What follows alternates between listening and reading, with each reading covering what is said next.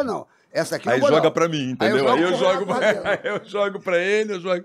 Mas é aqui- assim. Mas aqui é tudo uma brincadeira. Mas Mas, aí- uma coisa, você, você, só um minuto. Eu minto bem, tudo bem. Não, Faça não. a pergunta Você que já é você magrinha. quiser. Me falaram que você, você, você era da, daquela da turma que queria ficar mais magrinha, que tu, aquele negócio da, da a- anacrésia. Anorexia. Anacrésia. Anacrésia. Você teve anacrésia? Anorexia, Como é que é o nome? Anorexia. Isso aí. Anacrésia, teve isso? Anacrésia, fazia ela- isso, porque modelo tem mania disso, brother. Pois, Pois é. é. Tem uma cobrança, é. né, de peso. É, continuando Minhas até esse amigas faziam isso. Você fazia isso?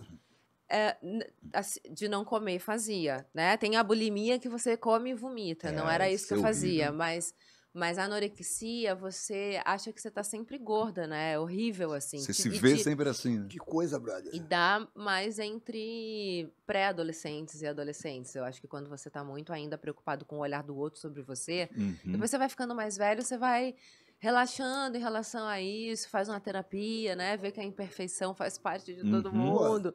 Mas ali aos 11, 12, quando eu comecei essa carreira de modelo, que a gente era medida, né, o tempo, in- o tempo É, que eu não, mas é. assim, uma vez por Uhum. mês, e que às vezes você não pegava o trabalho porque falavam você está com um quadril 92 e tinha que ser 90, você já vai criando um padrão Vê. Que loucura. Acho meio- cruel isso, meio louco, cara. mas eu acho que tá melhorando, assim, tá, tá melhorando muito, cara. A gente vê. O mercado se diversificou também, né? Graças Porque a agora Deus. tem modelo plus size, tem modelo. Agora estão estão entendendo que não é todo mundo É, magrinho, né? Exatamente. no mundo tem gente de tudo quanto é forma, de pessoal de, como é que é, com, com vitiligo, né? Tem uma modelo Uhum, famosíssima. uhum, pessoas Tu fazia, tu fazia pessoas- desfile também? Tu fazia desfile, essas coisas? Fazia, fazia menos, porque já não era tão alta, né? Já não tava nesse padrão manequim, eu era mais modelo comercial mesmo.